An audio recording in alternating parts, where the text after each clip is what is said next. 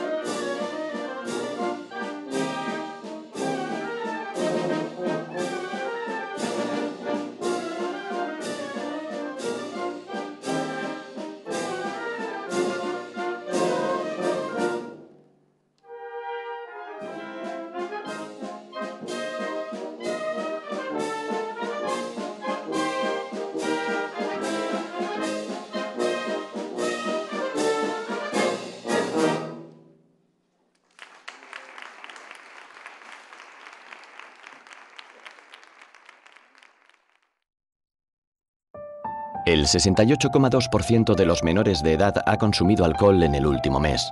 Su consumo continuado afecta a órganos que están en desarrollo, como el hígado, el páncreas y especialmente el cerebro. Pero tranquilo, tu hija seguro que no bebe, ¿verdad? Gobierno de España. Bueno, pues seguimos nosotros el día 10, ya saben, patrón de Ceuta, San Daniel y compañeros mártires. Hay que, hay que recordarlo porque a veces nos confundimos. Bueno, con el que se le confunde, con San Antonio también está de fiesta, pero dentro de unos días ya le seguiremos contando. Javier Martí, qué lío tenemos de santo. Buenas tardes. Hola, buenas tardes. Qué lío, ¿no? Y los remedios por el medio parece también este mes, es horrible. Bueno, los remedios es que tenemos una, queremos recuperar un camino que había en los años 40 del siglo pasado, que era la salida extraordinaria, salida de gloria de la Virgen de los Remedios, y que desde 2016 hemos recuperado en la cofradía. Pero Javier, hermano mayor de, los remedios ahora, em, ¿no era el día 8? Me, decías el otro día que os basabais en las antiguas tradiciones, que había personas que recordaban que el Día de los Remedios no era el día 8 de septiembre junto con, otros, con otras vírgenes, sino que era... Eh... Sí, es el, por lo menos el, que seguimos nosotros, el día 24 de septiembre, es el día de la Nuestra Señora Remediadora, la Virgen de los Remedios, que también es el día de la Merced y alguno más.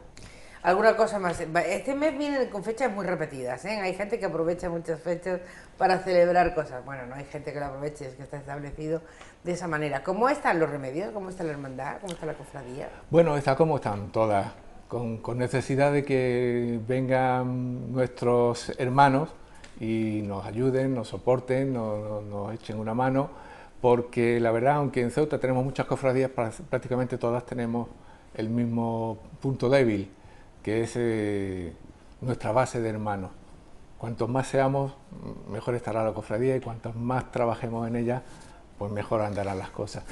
eso no quiere decir que no trabajen, que tenemos un equipo muy eh, bueno. Es que no sé si eso es bueno o es malo, porque al final lo que sí está claro, y ahí estamos viendo imágenes de, la salida del día 24, perdón, del domingo anterior, eh, y vais acompañados, quiero decir, yo creo que todos somos todos, ¿no? Esto ha pasado de tener de esa privacidad que tenía cada hermandad a que todos seamos todos, ¿no? Bueno, eh, hay que destacar una cosa, nuestros parroquianos, nuestros vecinos de, la Iglesia de los Remedios, se sienten felices de ver a la, Virgen en la calle, porque es, es, un hecho que, como comentaba antes, ocurría hace muchos años, hemos recuperado, llevamos tres años y cada vez tenemos más respuesta del público. Eso es importante, sobre todo porque ponemos en ponemos de cara a los ciudadanos el, patrimonio que tiene la cofradía, el patrimonio que tiene eh, la iglesia de Ceuta y una imagen que mm, ha tenido mucho cuidado, que fue restaurada recientemente y que nos hemos cuidado mucho de tenerla muy en cuenta, dedicarle los cultos de regla. Y hasta hace un par de años teníamos el primer sábado de, cada mes eh, abierto el camarín por la mañana y una sabatina por la tarde, y una tradición que queremos recuperar también antes de que acabe el año. Posiblemente ya en diciembre volvamos a recuperar, abrir el camarín de la Virgen de los Remedios cada primer sábado de mes. Una imagen que, bueno, que es de siempre, tiene una historia tremenda, posiblemente se nos haya olvidado, porque durante muchos años también la hemos confundido con Nuestra Señora del Mayor Dolor, que es otra imagen que tiene una devoción tremenda que sale de la misma iglesia y que nos parecía que eran los remedios, de ahí que le llamemos los a los remedios, ¿no? Bueno, una cosa no, no es como la otra, no, pero... No, pero que me parece que la puesta en valor de la imagen desde que se restauró ha merecido la pena. Sí, ha sido un trabajo importante, mm, más que nada porque queda para, para el futuro. Es algo que queda en la iglesia, que está allí, que queremos sacarlo para que lo vean nuestros mm, conciudadanos y luego que mm, podamos tenerla allí expuesta al público cada sábado, que todo el que quiera venir a verla o acercarse al camarín, subir al camarín, estar al lado de la Virgen, va a tener esa oportunidad, que es algo que también mm, es importante porque crea parroquia, y concita más gente allí y mm, nos sirve también para que en Semana Santa pues tengamos un poquito más de apoyo, que es nuestra salida importante también en en nuestro acto de penitencia del Viernes Santo. El, caso es que estaba, estar, ha estado siempre, en unas condiciones o en otras, afortunadamente ya restaurada, pero estar ha estado siempre. Pero al final hemos sido siempre a confundirlo sin casi darnos cuenta, ¿no? Sí, y además mm, hay gente que se ha sorprendido de verla. ¿Cómo? ¿Dónde estaba, no? Sí, eh, o, esta procesión, ¿por qué? Eh, ¿Quién ¿Cuál es esta Virgen? Eh, mm, este año tuvimos la oportunidad de que con la procesión Magna Mariana que hubo en junio, en honor de la Virgen de África, el 600 aniversario, la Virgen de los Remedios llegó hasta la Almina, hasta el sitio que realmente mm, es uno de sus títulos. Es, la protectora de la Almina de Ceuta, la Virgen de los Remedios. Y, muchas personas que no son de la parroquia de los Remedios ni y que no pasan por la iglesia de los Remedios tuvieron la oportunidad de verla, que también nos ha servido para que Ceuta en general conozca nuestra historia, conozca parte de nuestro patrimonio y sepa que existimos. Sepa que existimos y que se existe desde hace tanto, casi como, ¿no? Casi como el origen de la... 300 años. Que no son, no son, no son pocos. No. A mí nosotros no vamos a llegar. No, pero precisamente, ese fue el motivo, eh, precisamente ese fue el motivo de, salir por primera vez, en 2016. Se celebró el 300 aniversario de, de la bendición de la Iglesia de los Remedios una iglesia también genuina, eh, importante en la historia de la ciudad. ¿Cómo va ligada la historia? A la, no solo a la llegada de los portugueses, sino a todo lo que vino y, y, cómo tienen que ver las iglesias y las imágenes que en ellas se encuentran. ¿eh? Y lo que tenemos que seguir cuidando. Hoy comentaba yo con un amigo que el, el archivo parroquial que tiene los remedios es prácticamente la historia de la ciudad moderna. Desde, 1700 pues en adelante, todo lo importante que ha ocurrido ahí, nacimientos de funciones, las grandes eh, epidemias que hubo en la ciudad, pues eh, se ha ido anotando allí y todos esos libros forman una base importante para poder ¿Están bien cuidados? historia. Sí, sí, tienen sus años, tienen, están allí lo que es el archivo parroquial, no tenemos nada que ver con ellos porque compartimos la iglesia, compartimos la parroquia, compartimos la titular de la parroquia, pero lo que es la administración eh, canónica tiene su, su, parte allí dentro y bueno, tiene un archivo muy interesante, muy, muy, muy interesante. Bueno, habrá que consultarlo. ¿Tú lo consultas seguro? Bueno, algún día iré. Seguro, tú seguro que lo haces. Porque eh, no solo... ¿qué, qué, quieres hacer? ¿Cuánto tiempo tienes que estar? ¿Cuánto, ¿Esto cómo funciona? Porque el hermano mayor... Eh, bueno, de Montes lo dejó hace por razones personales. Sí, por, motivo de salud. yo, yo estoy en esta junta directiva, en esta junta de gobierno de la hermandad como vicehermano mayor Pepe, por motivo de salud, eh, cedió el puesto poco antes del verano, y entonces yo, como vicehermano mayor, paso a hacerme cargo del resto de, de la cofradía hasta que termine el mandato, porque prácticamente me quedan tres años. Tres años, ¿te queda casi todo? Sí. ¿Te queda casi todo? bueno, pero hay que destacar que Pepe, aunque esté en segundo plano, está. presente siempre y es una persona a la que permanentemente acudimos para consultarle cómo van que ha hecho mucho por esta hermandad y por esta iglesia. ¿eh? Sí. En los años en los que ha estado y está, eh, la verdad es que esta, esta restauración, esta recuperación, también fue una idea en la que se empeñó bueno, y ahí está, ¿no? Y la iglesia también se ha hecho una reforma importante con un taller de empleo y tenemos en restauración también las bambalinas del mayor dolor. O sea, hay muchas cosas que están empezadas desde hace tiempo que hay que continuar y que, bueno, a ver si podemos algún día ver cómo acaban. ¿Pero qué te gustaría hacer por la hermandad y por la iglesia que casi tenías enfrente de tu casa cuando eras un niño? Bueno, pues... No, ahora no eh, estás muy lejos, pero ya... pero antes, que solo tenías que cruzar, ¿eh? Seguimos en la zona de influencia, estamos dentro. Eh, tenemos, por ejemplo, el año que viene, eh, posiblemente, un aniversario importante respecto al Cristo de la Buena Muerte, que es el 70 aniversario de, su creación. Se, hizo en el año 1949. Entonces, bueno, igual nos metemos en un fregado más. Igual, igual, igual eso, lo del fregado está bien porque es una frase muy nuestra, claro. pero es cierto que, nada más que nos metemos en eso. Porque bueno, tenemos, por ejemplo, ahora tenemos en noviembre el, culto de ánimas del Cristo de la Buena Muerte. Son tres días que dedicamos a los difuntos de la hermandad y cultos en honor de nuestros titulares también. ¿En noviembre? En noviembre. Bueno, iremos contándolo por fecha para que no nos perdamos ningún detalle de, la historia y le hagamos el seguimiento. Eh, tienes una iglesia mm, restaurada, iba a decir, bueno, sí, se puede decir eso, eh, una imagen restaurada, eh, siguen estando los dos pilares ahí, Nuestra Señora del Mayor Dolor y el Cristo de la Buena Muerte, que son los estandartes, yo creo que, que les ayudaba a sobrevivir a todos, ¿no? Están ahí como algo muy nuestro. tienes pocos meses para la Semana Mayor, tienes proyectos, pero bueno, tienes tres años pero lo más inmediato, lo que te gustaría cometer ya para que en la próxima semana mm, grande la pudiéramos disfrutar? ¿Tienes algo? a ver si a, ver si alguna parte más de, las bambalinas del, del, palio de nuestro mayor dolor, de nuestra señora mayor dolor, pudiera estar terminado, porque el frontal ya lo tenemos. Es verdad que además lo hemos visto. Eh, bueno, pues a ver si es suerte. Voy a cambiar de tema, voy a dejarla... De todas formas, invitamos a, toda la gente que vaya a veros y al que se sienta hermano de la... Porque muchas veces somos hermanos pero de boquilla por fuera. Eh, no nos acercamos. Somos como los aficionados del fútbol. Yo soy del Real Madrid. Pero tú no has ido pero No, pero no tengo el carnet, ¿no? Bueno, pues hay que tener el carnet, hay que tenerlo, hay que tenerlo. Hay que venir. Por muchas razones. Hay que, hay, que, estar allí. Eh, dejo eso, porque tienes más cosas que hacer. Sí. Eh, tú no te aburres, ¿no? No, no, no pasas desapercibido. Bueno, la Legión está, acaba de terminar el mes y estamos en un sí que es verdad que estamos en una encrucijada o en un camino muy estrecho de cara a los 100, a los, 100 eh, años y supongo que habrá muchas cosas, pero tú de la Legión no te apartas. ¿Por qué le tienes ese amor a la Legión que le tienes, Javi? Si eres muy joven y ni siquiera has pasado por allí. Pues porque lo he aprendido.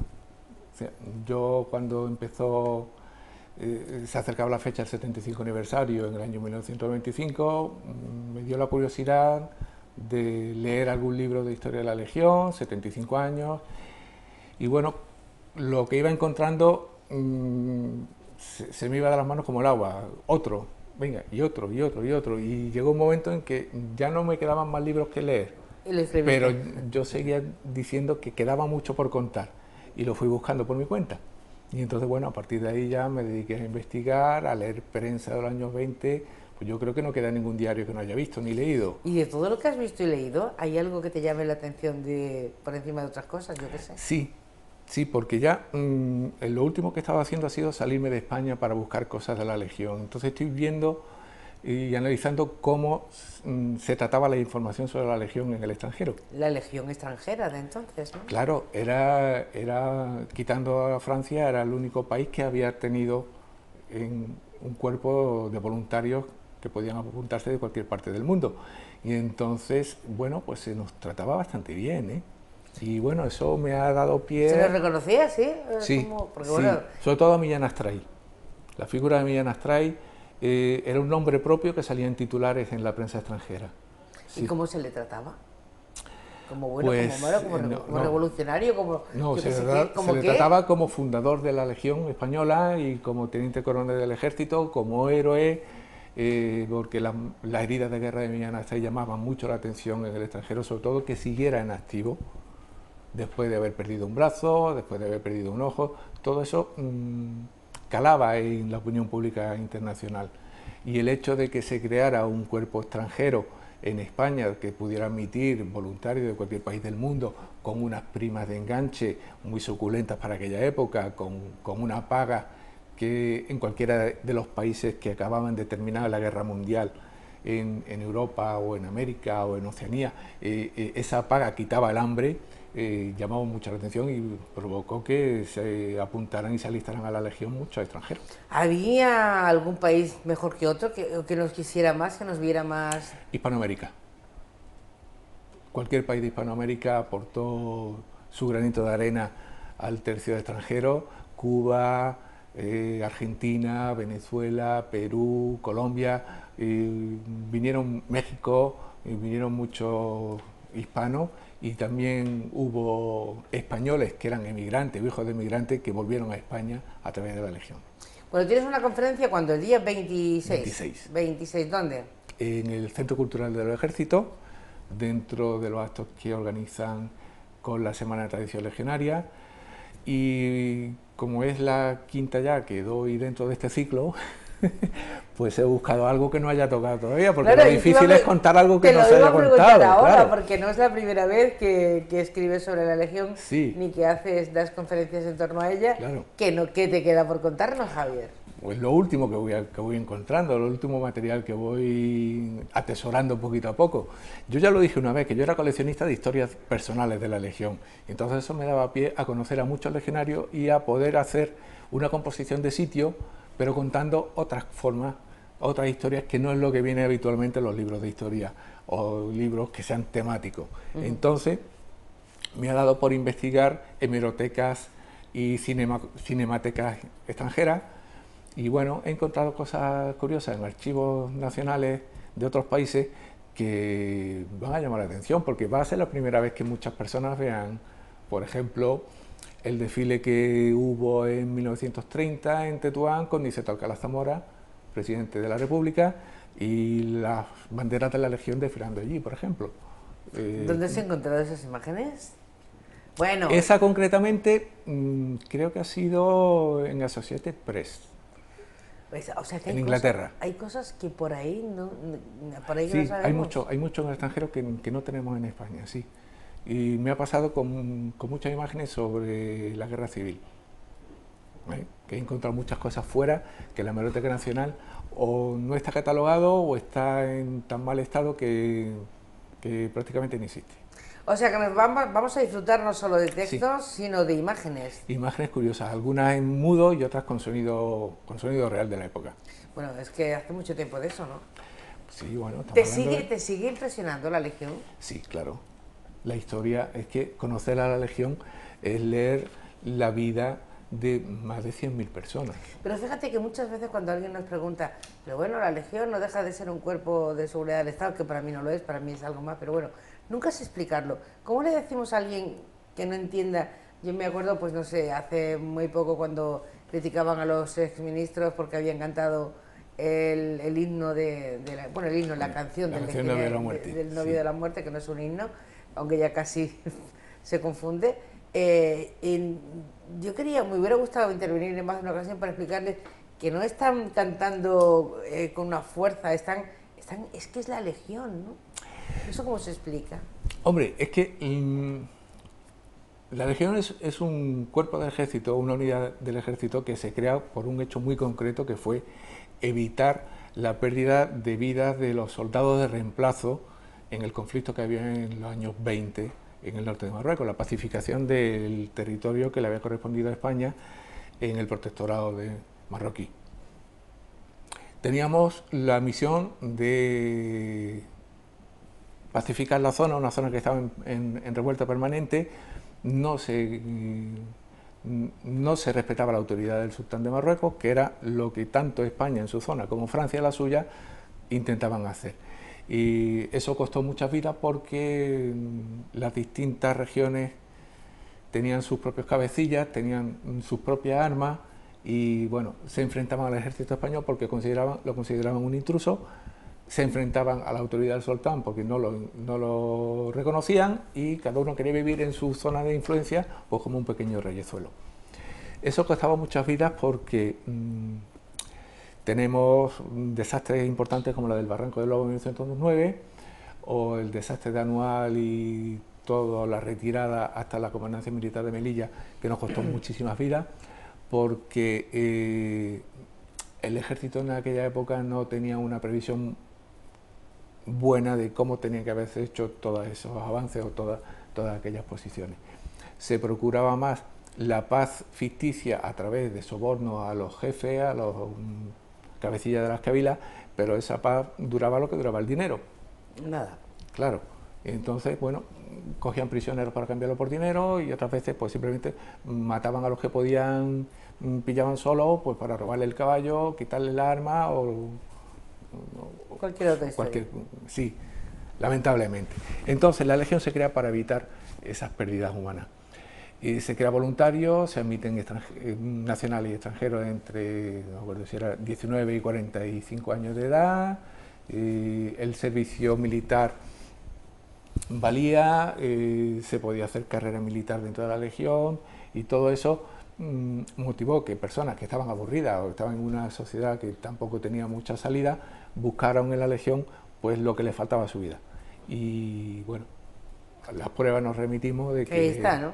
Que ahí está todo lo que hizo, todo lo que consiguió, todas las medallas colectivas, todas las medallas individuales, laureadas, militares, eh, de todo tipo. De todo tipo y sigue siendo para nosotros algo especial. sí. Donde va triunfa como la cerveza diría yo. Y aparte porque es, es de Ceuta. Es que es nuestra, es que esto no se puede evitar. Es que es de Ceuta. Bueno, Javier, pues el día 26 estaremos atentos a tu, a tu conferencia y, y estaremos, seguiremos estando atentos a los remedios, pero en este caso a la Virgen, ¿eh? que, no confundamos que hay tres, hay tres miembros en esa, en esa hermandad. Sí, tenemos, tenemos tres titulares. Exacto. Javier, muchas gracias por estar con nosotros. A vosotros. Javier Martí, mm, tendríamos que quedarnos más tiempo para que nos contara más cosas, pero a ver si intentamos rescatarlo de vez en cuando para que venga a contarlo. Bueno, pues estamos en la Semana del Comercio, cambio de tema. Estamos en la Semana del Comercio que ha organizado la Cámara y ayer se producía, se llevaba a cabo el primero de los talleres. La Cámara de Comercio de Ceuta organiza unas charlas divulgativas en torno al pequeño comerciante, al pequeño comercio, al minorista.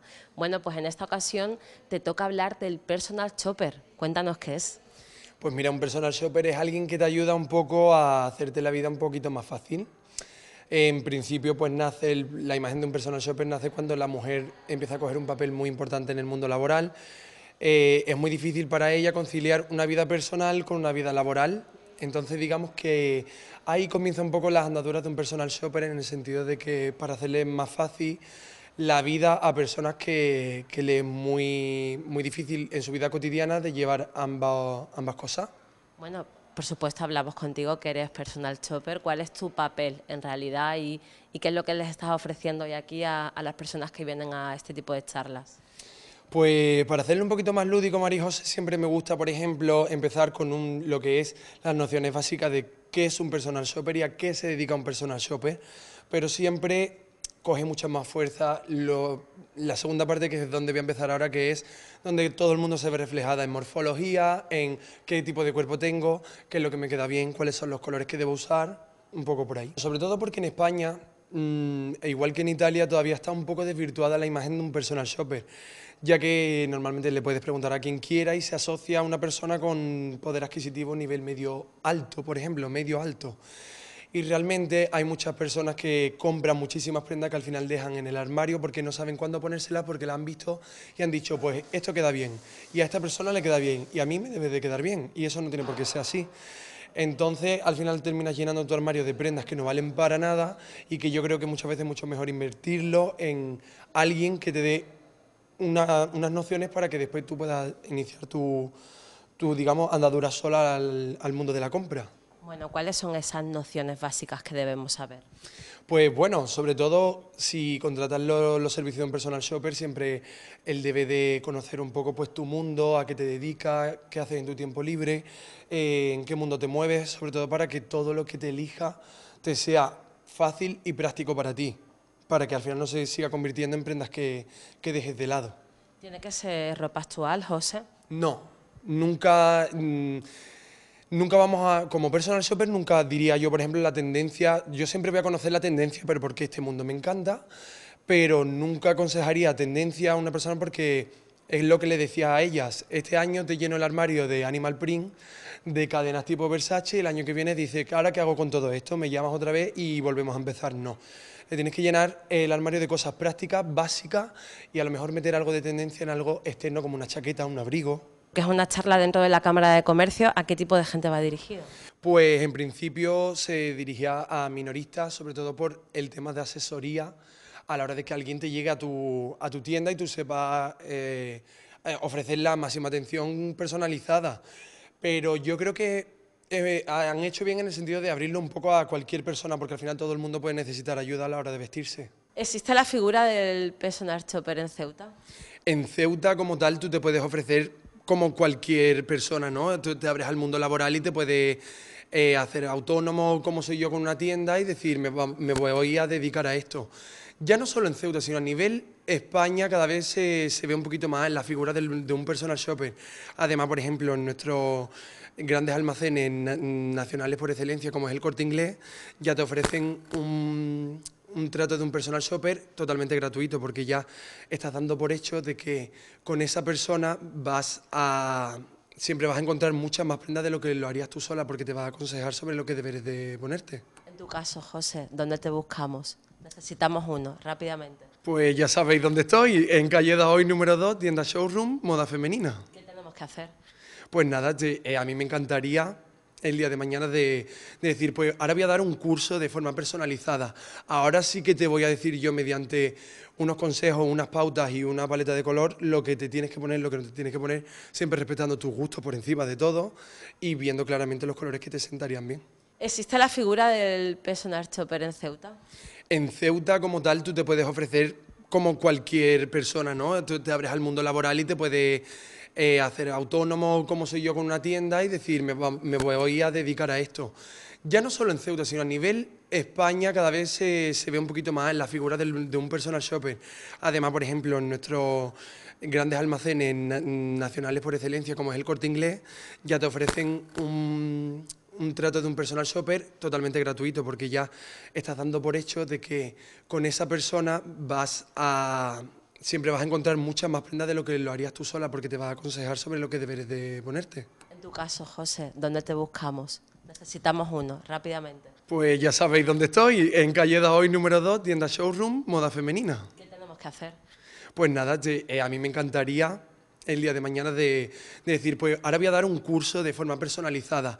Ahora sí que te voy a decir yo mediante unos consejos, unas pautas y una paleta de color lo que te tienes que poner, lo que no te tienes que poner, siempre respetando tus gustos por encima de todo y viendo claramente los colores que te sentarían bien.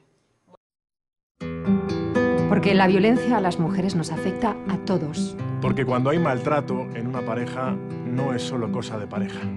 Porque no podemos tolerar más agresiones porque es responsabilidad de todos denunciar. Porque no podemos sentirnos indiferentes ante la violencia de género. Protagonicemos el compromiso de toda la sociedad contra la violencia sobre las mujeres.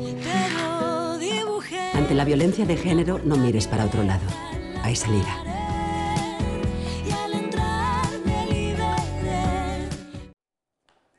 Bueno, cambiamos de tema, aunque seguimos hablando de empresas y de empresarios, en este caso de la Confederación de Empresarios o con la Confederación de Empresarios de nuestra ciudad. Antonio Ramírez, buenas tardes. ¿Cómo estamos? Bien. ¿La Confederación y la Cámara se llevan bien? Sí. ¿Hay conexión? Hay conexión. La verdad es que, vamos, tenemos que llevar muchos proyectos además ahora en, en común y en adelante y la verdad es que hay buena conexión y parece ser que tenemos que seguir en esta, o debemos seguir en esta línea. Semana del Comercio. Eso está bien. Hay que hacer cosas todavía, hay que animarnos. Sí, yo creo que sí, ¿no? Yo creo que hay que buscar sobre todo ciertas fechas en las que por algún motivo hay menos movilidad de, eh, la gente o la ciudadanía se, se, moviliza menos. Y yo creo que todo este tipo de, actividades de dinamización eh, comercial, de poder visualizar eh, diferentes comercios que participan, que la gente pueda estar más animada por, la calle, que muchas veces hay una sensación como...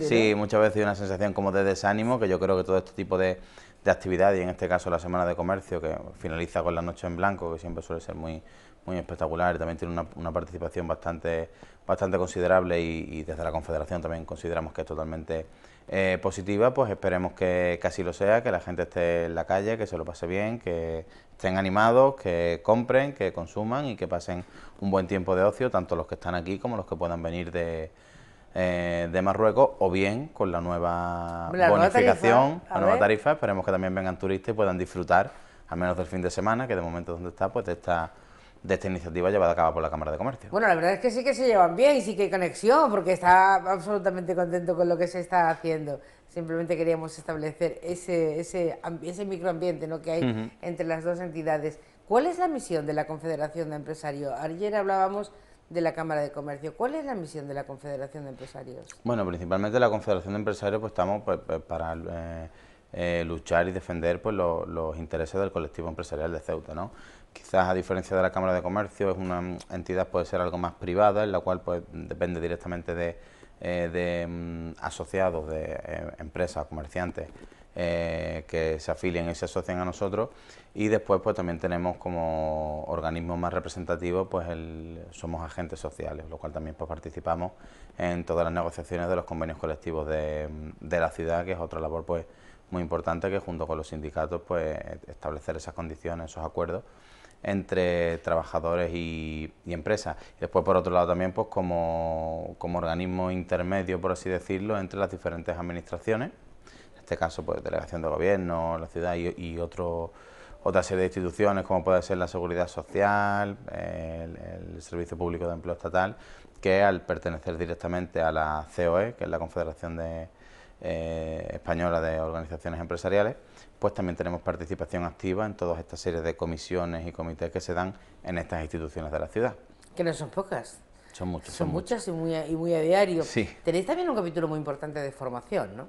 Sí, también estamos de alta como, centro de, formación y, bueno, principalmente pues acudimos a convocatorias que saca el Servicio de Empleo Público Estatal, algunas convocatorias también que saca la ciudad para talleres de, eh, de empleo profesionales, pues lo mismo pues para eh, seguir intentando en esa, en esa ayuda o esa formación que consideramos muy, muy necesaria en la ciudad de Ceuta, una formación básica para que los, las personas que estén en este caso desempleadas pues puedan estar eh, formándose continuamente y tengan una mayor facilidad para poder acceder al, mercado laboral.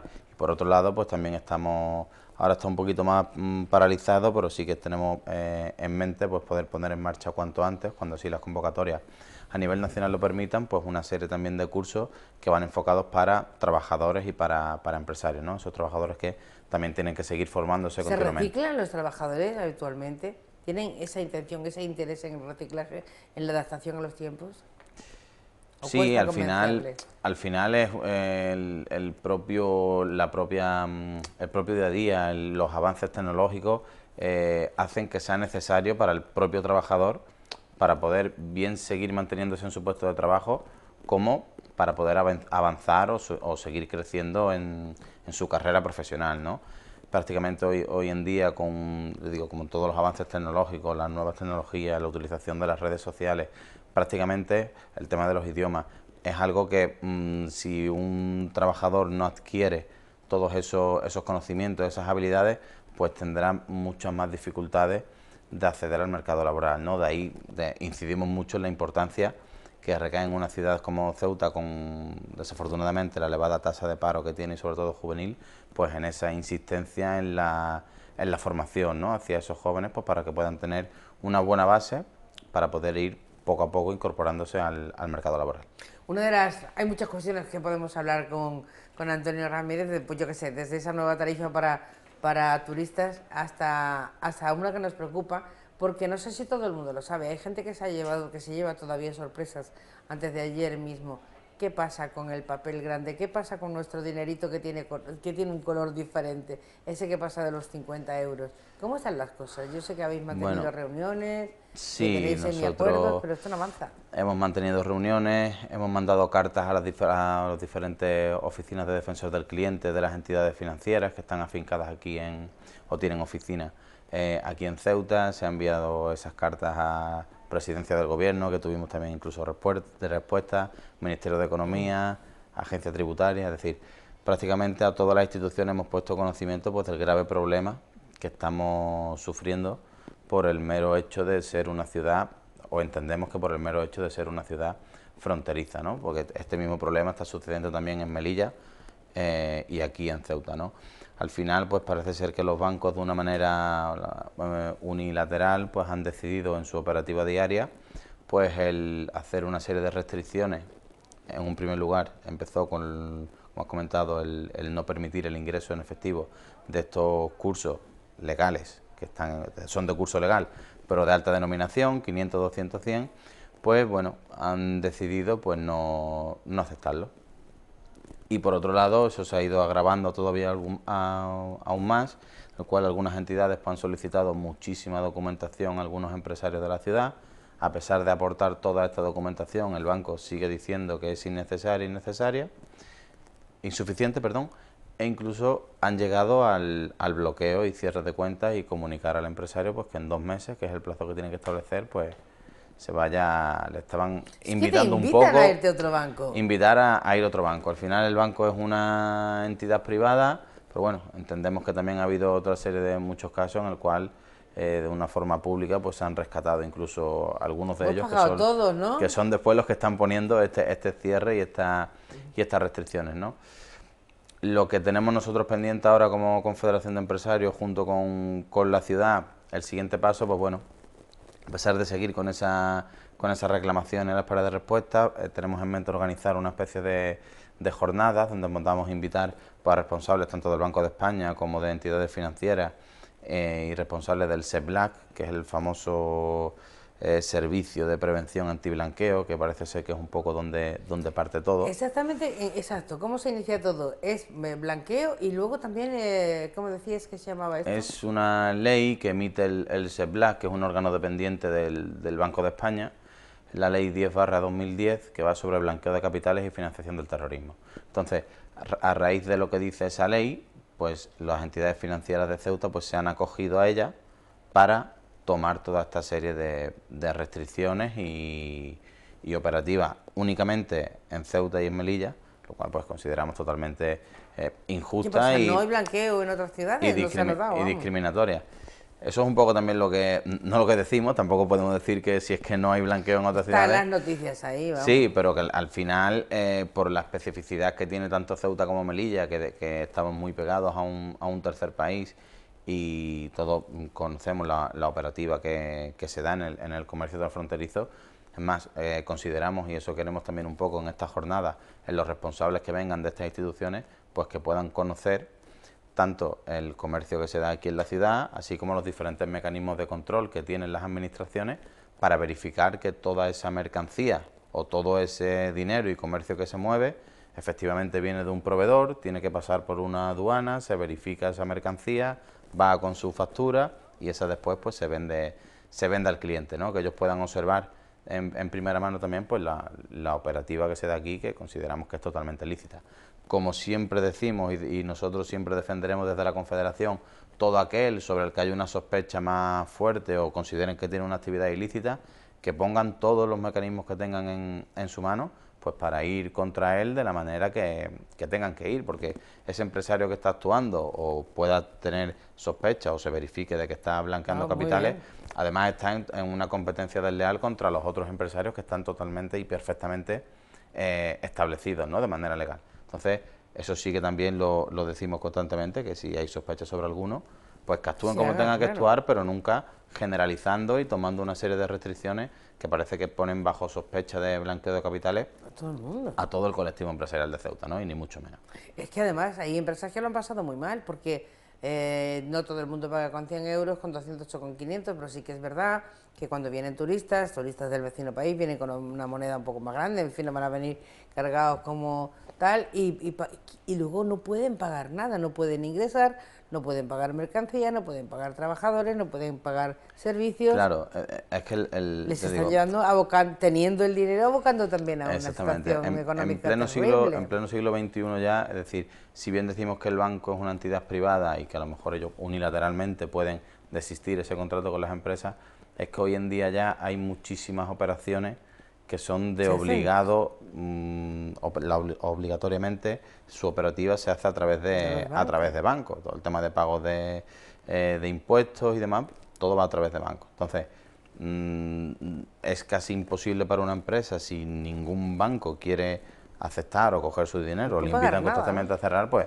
eh, directamente pues tendrán que cerrar o irse a otro lado o abrir un punto de venta eh, en la península, al final todo eso conlleva un proceso de eh, disminución o de la inversión en Ceuta con todo lo que conlleva, los trabajadores y otros servicios anexos que, que, se da gracias a este, a este comercio que se genera y tendrán que desinvertir e irse a otras zonas de la península que creo que son unas consecuencias pues que nadie, nadie queremos y eso son graves y perjudiciales para, para Ceuta. ¿Son todos los bancos en la ciudad? ¿Se salva alguno? ¿Admite alguno dinero?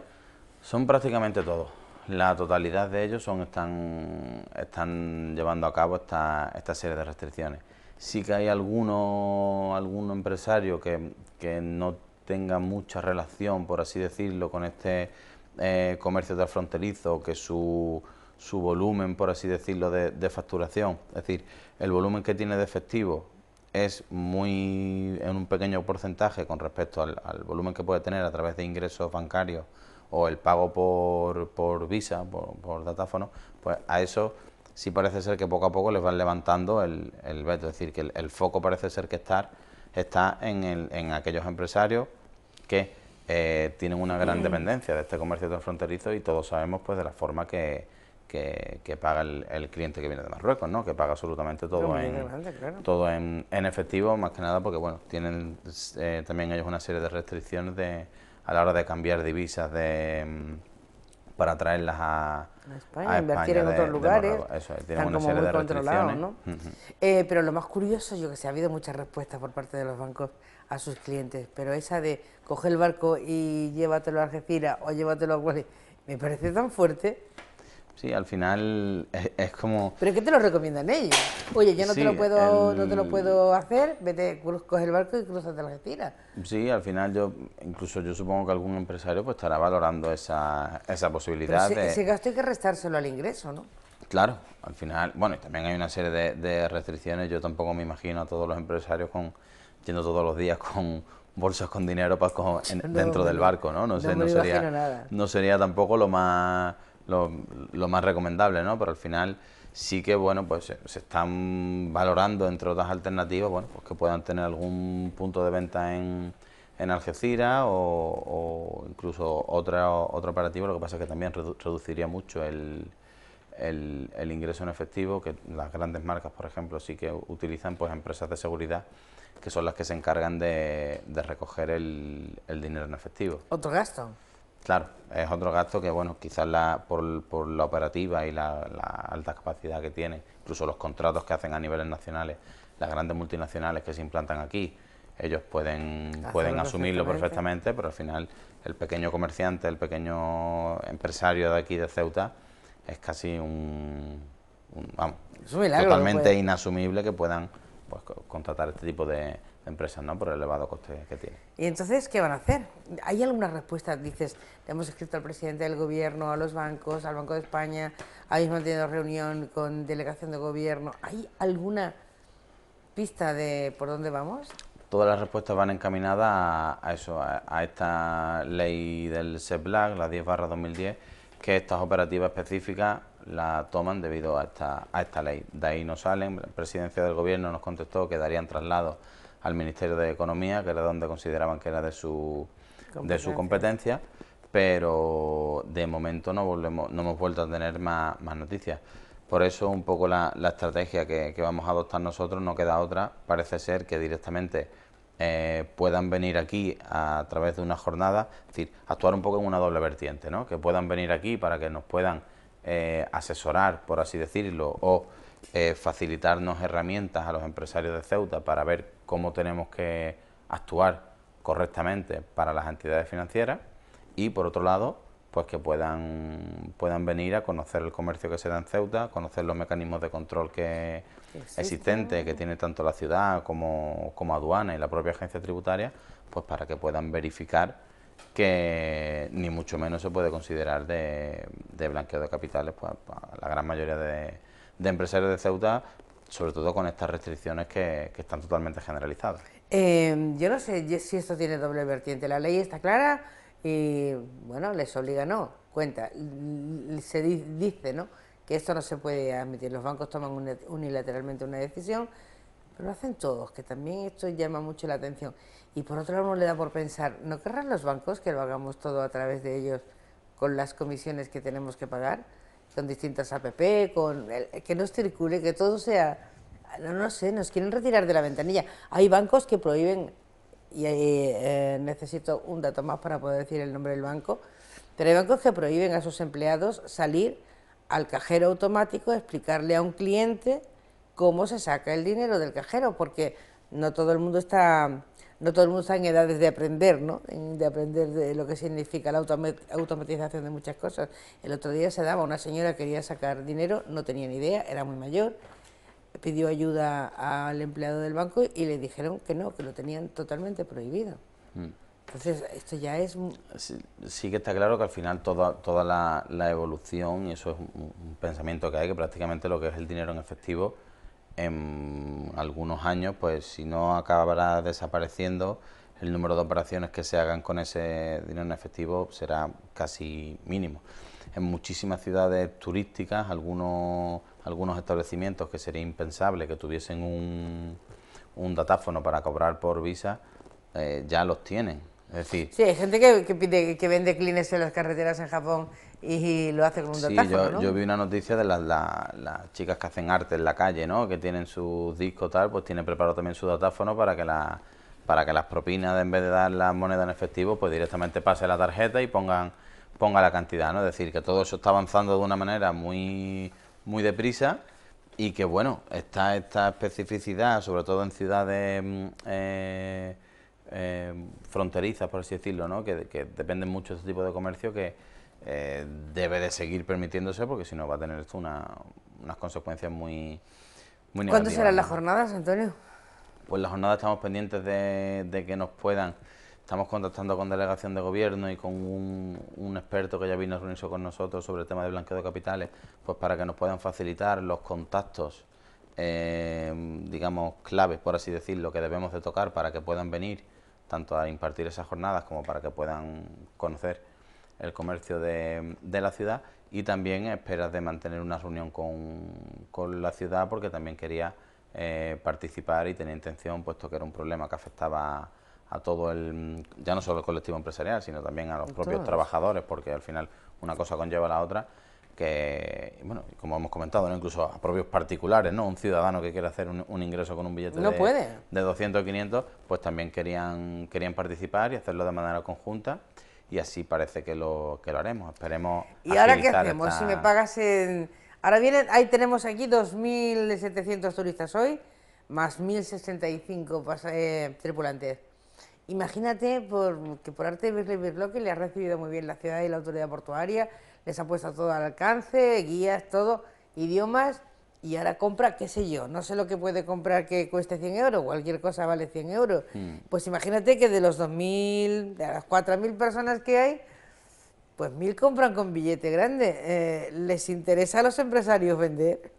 Claro. Es, un, es una situación... Es decir, lo, que no puede ser y es una... Eh, no sé, no sé cómo, cómo calificarlo, ¿no? Es decir, si se está haciendo un esfuerzo muy importante en intentar atraer turistas, se está haciendo un esfuerzo muy importante, lo hizo Delegación de Gobierno con la zona de la famosa zona de embolsamiento, y ahora ya que está disponible, pues también podemos decir pues y agradecer el esfuerzo que está haciendo la ciudad, ¿no? Porque al final es, una inversión fuerte, hay muchísimo personal allí trabajando que depende de la ciudad y al final, bueno, se están haciendo diferentes actuaciones que están llevando a, intentar fomentar pues que la llegada de, turistas o el turista que venga de Marruecos que no tenga que esperar esas colas que, esperaba al embolsar a aquellos que tienen mercancía y por otro lado con esta o, con el trabajo que está haciendo la autoridad portuaria que esperemos que sean más los cruceros que puedan seguir viniendo así como la nueva mm, la nueva bonificación del, del peninsular que ha puesto en marcha también la Consejería de Turismo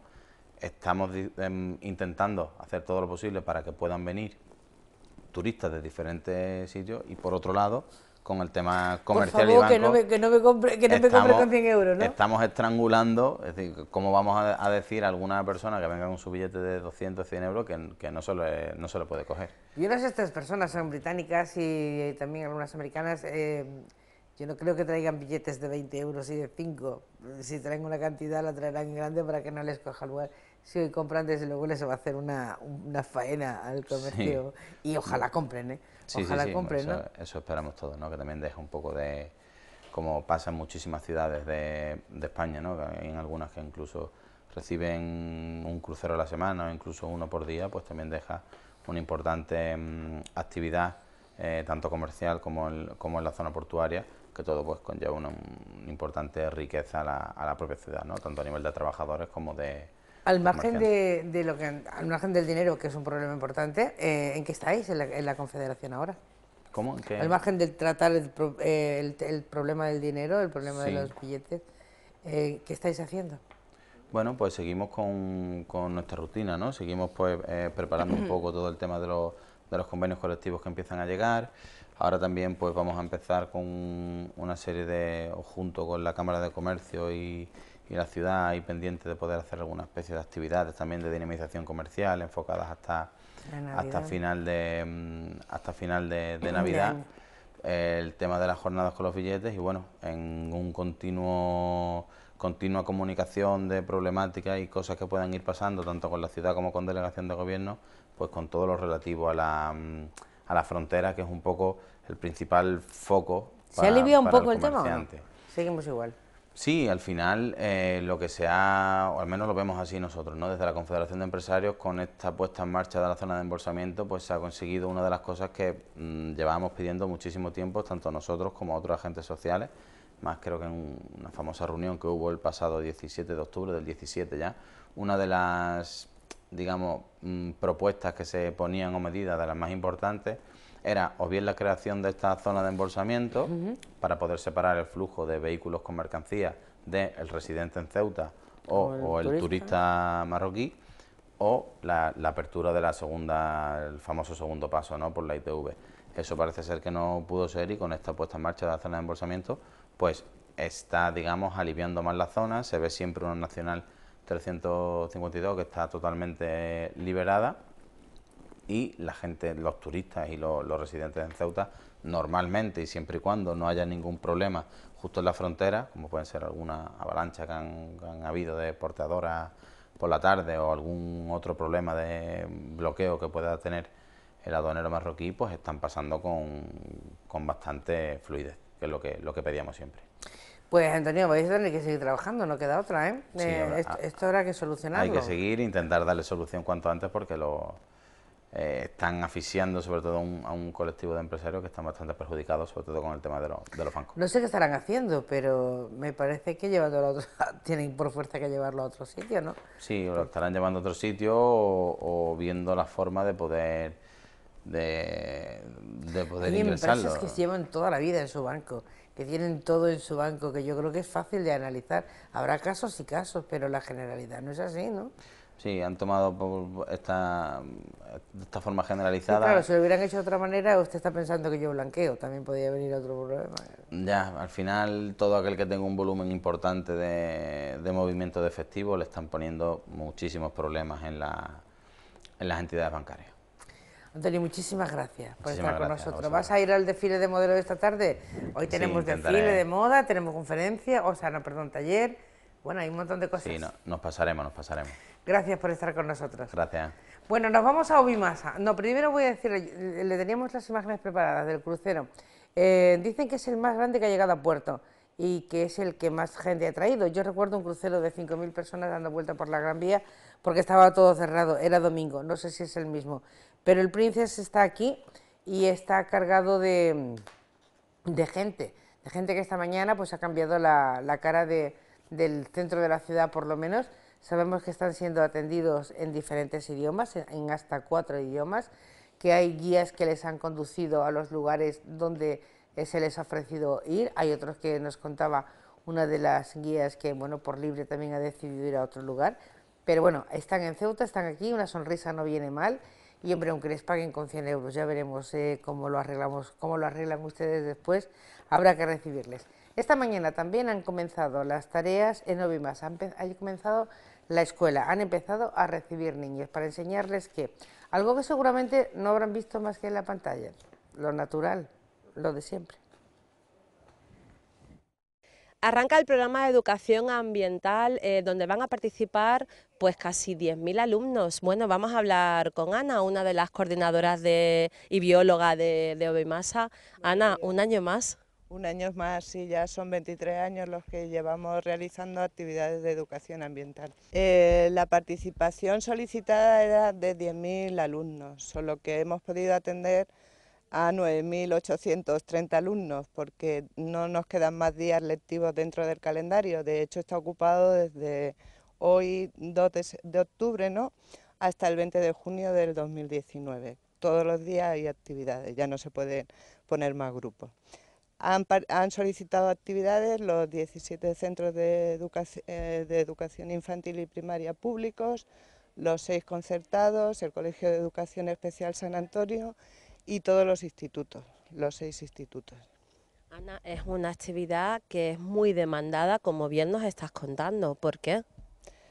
Porque los niños cuando vienen aquí a Obimasa, la verdad es que disfrutan muchísimo, tanto con los animales como con las plantas y a los profesores también les interesa porque son, es como una asignatura transversal ¿no?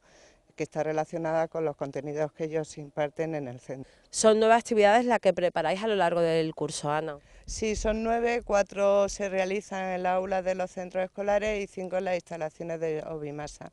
Estas actividades eh, son distintas para cada nivel educativo, es decir, que trabajamos desde educación infantil cuatro años hasta primero de eso. Y todas están interrelacionadas o con alguna conexión. Las que hacemos aquí son, hoy mismo estamos haciendo recuperación de los bosques, eh, para educación infantil, cuatro años hacemos jugando con la naturaleza, para primero de primaria granja escuela, segundo de primaria transformación de alimentos y cuarto de primaria inicio vivero escolar.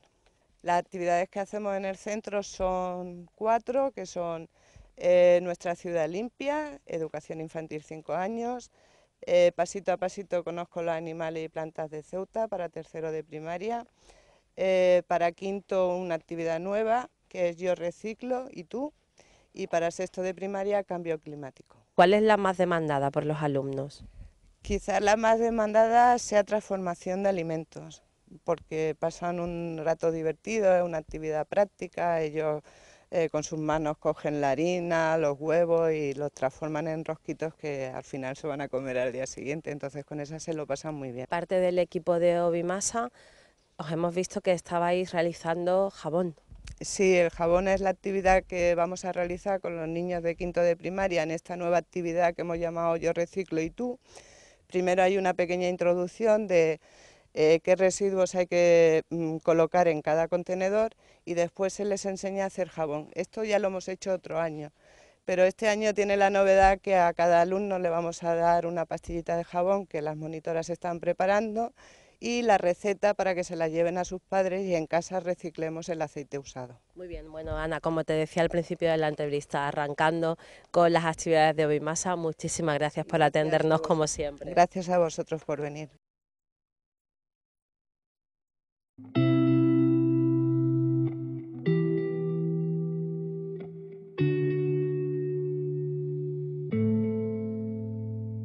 De perro más guapo, pequeño abandonado.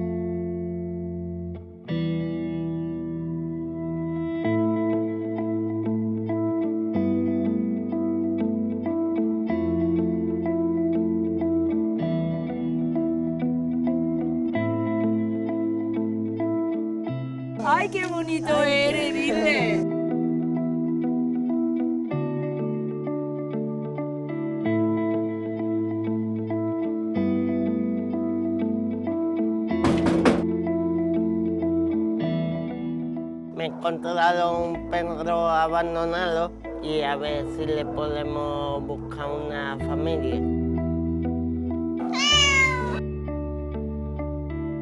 Cientos de animales son abandonados cada año en Ceuta.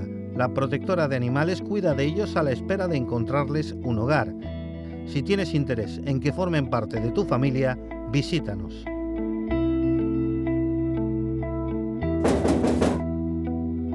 Mira que estaba interesado en adoptar un perro.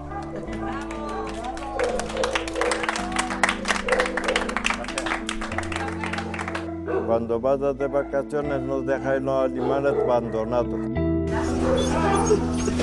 animal no es un juguete, es un sentimiento. No compre, adopta. Dale a un animal la oportunidad de, de ser feliz. En la protectora hay muchos perros esperándote para que lo, lo acojáis. Adopta, te esperamos. No compres, adopta. Es un mensaje de plena inclusión y la protectora de animales de Ceuta para Radio Televisión Ceuta. Bueno, pues seguimos. Vamos a cambiar de, tema. Nos preocupa, nos preocupa mucho todo, pero eso del dinero nos ha preocupado mucho más. Pero vamos a cambiar de tema y vamos a alegrarnos un poco. Eh, tiene una mezcla, esta actividad tiene una mezcla. Por un lado, la alegría de poder eh, acordarse de un amigo y por otro lado, pues sin duda, el haberlo, el haberlo perdido. Juanjo Molongo, buenas tardes. Hola, buenas tardes. ¿Cómo estás? Bien. Vamos a por ti, Agu. Sí, el noveno. Nueve años. Nueve años. ¿De verdad que pensabais que ibas a llegar a, esta edición? No, sinceramente no. Porque esto nace del momento en que Agus muere. Sí, falleció, cuando fallece, pues entonces se hizo un, un festival homenaje y benéfico también. Y nada, eh, al siguiente año, mira qué hacemos, y ha sido así, así cada año y ahí estamos. ¿Qué piensa la familia de Agus? Pues hombre, yo por la parte que conozco, eh, encantada. Vamos, de hecho viene parte de la familia, viene Yo te decía años. antes, Agus nunca calculó que le queríais tanto y que le recordabais tanto, ¿no? No, se sentía querido, porque era un tío querido y un personaje del rock, de la música, como ya hemos dicho más veces. Y sí, era querido, pero vamos, con esta magnitud de cada vez más el festival, todos los años, lo que ya estamos viendo cada vez más, creo que no. Yo creo que no se lo imaginaba nunca, no será porque no, no trabajó y se ganó el cariño de mucha gente. Sí. Va por ti, Agus, en la novena edición, es un festival, un festival benéfico. ¿Que ¿Cuántos grupos dices que traéis esta vez? Pues este año es de los que menos. Hemos llegado a traer hasta 12, 14 grupos, si no recuerdo más. Este año somos nueve. ¿Cuesta mucho reunir a nueve? No. Bueno, la banda que traemos de fuera y eso un poquito más. Ya es por cuestión de fecha, por cuestión de backline, de equipo, cuestiones técnicas. Eh, Fitoscopia, sí. de Sevilla. Sí, Pero las bandas aquí locales no. Las bandas locales, para lo que quiera. Aquí nada más que tenemos que tirar de teléfono, mira, eh, y no hay problema. Bueno, ¿cuándo hacéis este Va por ti, Agus? ¿Perdón? ¿Cuándo lo hacéis? Este sábado, ¿no? Este sábado día 6 en el restaurante Varadero, ahí en la Marina, y en los salones que tiene allí acondiciona perfectamente porque tiene sus dos puertas para entrada de entrada, salida, con los cuartos de baño. o sea, Es grande, Un espectáculo, un es- espectáculo, sí. Este año, es- bueno, este año, ya lleváis Sí, este es el primer año que lo hacemos fuera de la sala. Todos los años lo hemos hecho allí en la sala, pero este año no ha podido ser porque vamos a tardar más, en fin, pues unos, unos matices, ¿no? Entonces, pues hemos decidido, hemos optado por hacerlo allí. Y la, te digo que las condiciones reúne, el sitio reúne todas las condiciones, eh, perfecto, vamos. Eh, ¿Quién era Agus? Agus, Agus siempre ha, ha sido un amigo, pero aparte de lo que es la amistad siempre la, la iniciamos todo el mundo pues hace un montón de años eh, con los bares. Tuvo una serie de bares donde iba todo el mundo, por eso era tan conocido también. Y era un personaje, pues, te digo, era cariñoso, era un cachondo, porque siempre tenía la risa en la cara y hasta que llegó el día sin comerlo ni beberlo y, y fue en seco. Y se fue sin avisar, ¿eh? Sí. Se fue sin avisar y con un dolor para todo el mundo. Pues bueno, sí. tienes una botella en la mano, pero yo quiero que la enseñemos eh, Sí. porque este es otro detalle. ¿Contabais con y de ello? última hora, recién salía del horno. Eh, nada, eh, la cervecería, la fábrica de cerveza de aquí de Ceuta, Ceuta está, de Rocío, pues ha querido colaborar también en el evento y nos ha dado unas cuantas cajas de, de la cerveza con la etiqueta conmemorativa. No la toques, déjala ahí para que la podamos ver. Aquí. Es el no cartel anunciador. No, ahora tú ahí tranquilito. Es el cartel anunciador de- del festival, de la edición de este año, donde estáis todos los grupos. Ojalá se vaya a caer. Eh, no, no hay muchas, ¿no? Así que hay que pedirla pronto, ¿no? Es una edición limitada. Una edición. La estamos vendiendo a 3 euritos, eh, es un tercio, es artesanal, es la Pale, a mí por lo menos la que más me gusta. Y encima, pues eso, que es la conmemorativa de- del festival. Tú como ruina lo vas a poner en tu casa, ¿no? Hombre, claro, yo la tengo ya, esta es la mía. Como ruina, como ruina, pero no porque él sea una ruina, sino porque ese no. es su grupo, Las Sí. Ruinas. Hay que ver el nombre, ¿eh? Siempre te digo lo mismo. Si es que esto es una ruina. Eso es lo que dice la gente luego. Pues hay peores, hay peores No, la frase, la frase que solemos decir, ¿no? Que luego en ellos no se cumple tal y como lo decimos. ¿Qué vais a hacer en, en este festival? Pues nada, lo de siempre, empezaremos a partir de las 2 de la tarde con paella y comida, habrá empanada, tortilla, o sea, comida va a haber, para que todo el mundo nos quedemos allí. Después, sobre las 5, comenzarán los grupos a tocar, todas las bandas, una seguida detrás de otra. Estarán aproximadamente entre 40 y una hora cada banda. Eh, también este año también contamos con castillo hinchable para los niños, de 5 a 7 gratis para los críos. Eh, y después ya como colofón, pues el último grupo que toca Fitoscopia, que es la banda tributo a Fito y Fitipaldi, desde Sevilla, y vienen aquí. ¿Cómo conseguís recursos para todo esto? Porque, bueno, la mitad son colaboraciones, ¿no? Hombre, ya te digo, por ejemplo, ha habido gente que siempre colabora todos los años, ¿no? Este año pues, de Rocío de la Cervecería, Doncel también, que colabora con la paella, eh, ATV, que también colabora con, en fin, con las entradas, todo lo que es el, todo el tema. Eh, en fin, que colabora, pero aparte lo gordo, gordo es la ciudad. ya como asociación también y como ya que estamos aquí ya medio consagrados con el festival, que creo que es el más antiguo que hay después del de jazz. Pues sí. Creo que sí, creo, ¿eh? no sé si me equivoco. También, claro, también colabora a la, hora de, los grupos, de caché, de equipos, sonidos. ¿Es solidario, benéfico? ¿A quién vais a destinar los, los ingresos? Todavía no está decidido. Eso prácticamente, una vez que está el dinero, se ver cuenta, se dice en un grupo que tenemos eh, los grupos, eh, mira, se ha recaudado tanto, si alguien sabe de algo, de una asociación, de alguien que le haga falta o algo, pues simplemente se, hace un consenso y se dona. Bueno, ahí estamos viendo la paella, pero no de este año, que esa todavía no se ha comenzado, pero, pero, estará a punto, ¿no? Eh, ¿cuántos, ¿Quiénes son los grupos? Tú te lo sabes, y si no tienes ahí la chuletilla. Pues no, la verdad que no. ¿Tienes la cerveza? Ay, es verdad. Ay, ay. Pues mira, pues está La Ruina, somos nosotros, Belvergin, que se ha caído del cartel a última hora. ¿Por qué? Pues porque uno de los integrantes se ha fastidiado una pierna. Vaya. Y no va a poder, estaban empezando a hacer algo acústico, que a lo mejor pueden hacer algo, pero de momento se han caído. Eh, los Tyrell Corporation también, eh, Elixir, 432, el Poeta Sextago y el Antoñito, By Nose y Pundaman. Estos, estos, estos son los que, los que ya están más fitoscopia. Que más fitoscopia. Faltan grupos que este año, porque por H por B no han podido venir, pero que han tocado también prácticamente todos los años, Inferno, que no han podido también porque están, van a empezar a grabar, eh, Espiral también han colaborado, en fin. ¿Cómo están los grupos locales, Juanjo? Yo lo veo bien, yo lo veo muy bien. Ahora tenéis más oportunidades. El, sí, porque yo veo que hay movimiento, siempre hay, hay movimiento de grupos. El parque os ha dado también una oportunidad este verano, ¿no? El parque sí. Con esas galas. Sí, yo por ejemplo yo no he participado, pero vamos, ha habido una iniciativa de, mira, de por lo menos. Algo hay. Sí, a coger los cuatro o cinco grupos y han tocado y mira, algo ha habido. Bueno. Puede haber más, pero bueno. Bueno, puede haber más, pero por, ahí, se empieza. por ahí se empieza, ¿no? El caso es, ah, bueno, una vez que está en marcha, la cuestión es sugerir otras cosas que se puedan, que queráis hacer. Sí, yo este año tengo pensado en hablar con Cultura o algo y así podemos hacer otro festivalito ya independientemente de lo que es este. Pero algo para eso, para algún festival en verano, en lo que es la playa, algún... Es que hay un montón de grupos en Ceuta. Hay muchos, muy buenos, con muy buenos directos y con muchos años a la espalda. Y yo este año quiero hablar y ¿Cuánto a ver si se puede. llevas tú en el, mundo de la música? ¿Yo, ¿Mm? particularmente? Tú, tú, tú. Pues yo pues... Mm, unos, cerca de 30 años por lo menos. ¿30? Claro, Casi nada, unos 28, 30. ¿eh? Sí, no, bueno, 28, 30. 30 años ya es como para que se os escuche, ¿no? Sí. Cuando hagáis algo, ¿no? Sí, tampoco estamos, tampoco que somos muy de... Pero no os habéis dedicado eh, solo a eso. Hacéis vuestra vida y, además vuestra eso música. es aparte, es una forma de vida. Eso es, la música no es decir un hobby de dos días, no, Eso te entra en venas y eso ya no sale. Bueno, pues vamos a invitar a todo el mundo a que vaya mm, al festival benéfico el próximo sábado. ¿A qué hora queréis que estemos allí? Hombre, a las dos sería para echar arroz. A las dos para echar arroz, si va un poquito antes mejor. También otra cosita, los precios son populares, que no es que, ¿eh?